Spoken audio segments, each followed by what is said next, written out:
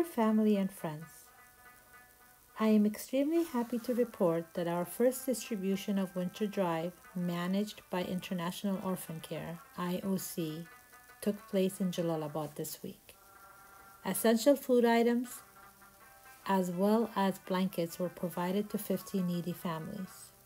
I would like to thank all the donors that have contributed to our ongoing winter drive effort. You are truly the real heroes, and your generosity has brought tremendous comfort and warmth to these families during the cold winter months.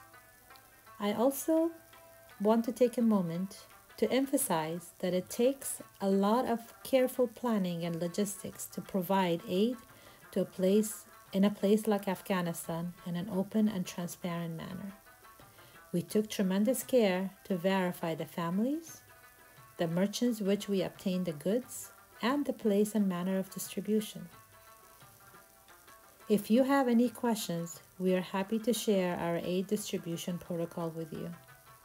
In addition to Jalalabad, we are also aiming to distribute 8 to 50 qualified and needy families in Kabul and Herat, and I will share the pictures and videos shortly. The number of needy families far exceeded our ability to help all of them.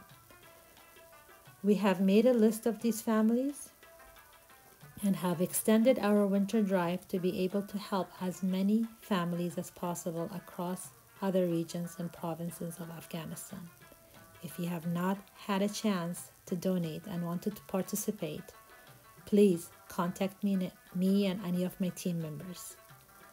I have provided the link for donation here. Please donate if you like and share and share with others. Thank you again and God bless all of you and your families.